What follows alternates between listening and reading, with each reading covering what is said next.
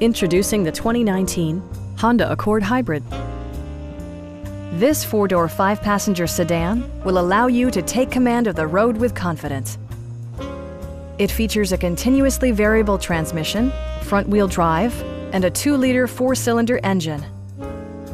All of the premium features expected of a Honda are offered, including heated seats, front dual-zone air conditioning, power door mirrors and heated door mirrors, lane departure warning, blind spot sensor, remote keyless entry, and cruise control. For drivers who enjoy the natural environment, a power moonroof allows an infusion of fresh air. Audio features include an AM-FM radio, steering wheel mounted audio controls, and eight speakers, enhancing the audio experience throughout the interior.